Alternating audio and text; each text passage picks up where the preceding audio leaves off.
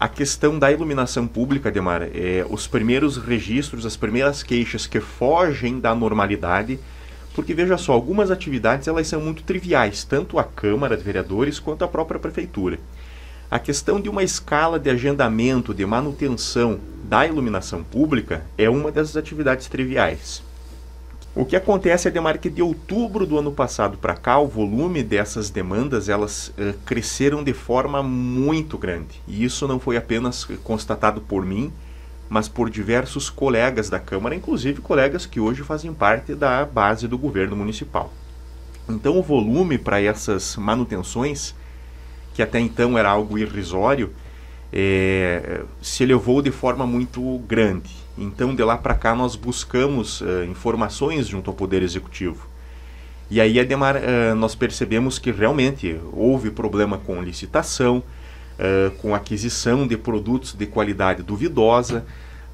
há um problema que com certeza agravou todo esse processo, que foram as ocorrências climáticas, que deve ter prejudicado diversos pontos de luz mas temos certeza que apenas as ocorrências climáticas não dariam o resultado que nós uh, estamos vivenciando hoje, até porque isso já faz algum certo tempo. O último questionamento da Câmara em relação às demandas de agendamento, porque muitas pessoas relatando que desde o mês de outubro do ano passado não conseguem atendimento para substituição dessa lâmpada, dessa manutenção, foi então relativo ao coronavírus. Então, a última desculpa, a última resposta que o município nos deu é que a demanda ela está represada devido ao corona, ao número de servidores reduzidos para atendimento. O que particularmente nos causa estranheza, porque em outubro do ano passado ainda não havia coronavírus, já havia demanda represada. É, a própria prefeitura informou em outras indagações que havia sim dificuldades com relação à licitação. Hoje essa não é mais uma demanda atendida pelo município de forma direta, mas sim terceirizada, o que também a gente pode uh, concluir que os gastos com esse com essa manutenção se elevaram porque os servidores que antes realizavam essas atividades não foram dispensados da secretaria, são servidores concursados.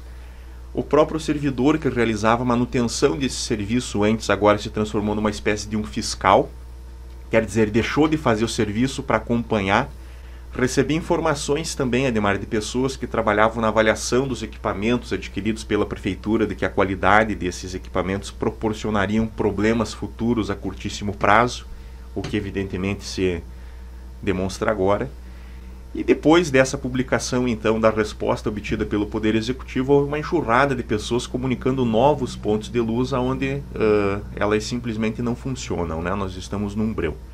Iluminação pública é segurança pública. E essas necessidades elas precisam de um certo uh, carinho, de um certo olhar. A crítica é a falta de resposta do Poder Executivo e a crítica é, é no sentido de tentar, é, do executivo tentar ludibriar agora a população pública, dando a desculpa de que o coronavírus é o culpado pela ingerência do poder executivo.